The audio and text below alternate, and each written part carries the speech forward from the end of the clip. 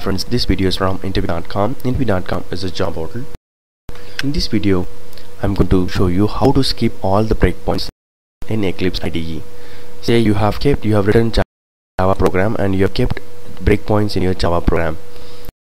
And some scenarios you don't want to run through all these breakpoints. You want to skip skip all these breakpoints. How you can do it? There is an option right side. There is an option like skip all breakpoints. When you click on this you can see a, st a strike mark on the all the breakpoints. So now what will happens when you run the debug all the breakpoints will be skipped. There is one more way you can do the same.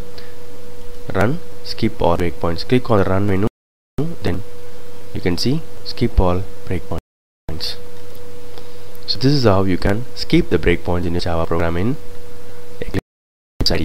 Hope this video is useful and informative. Thank you and all the best.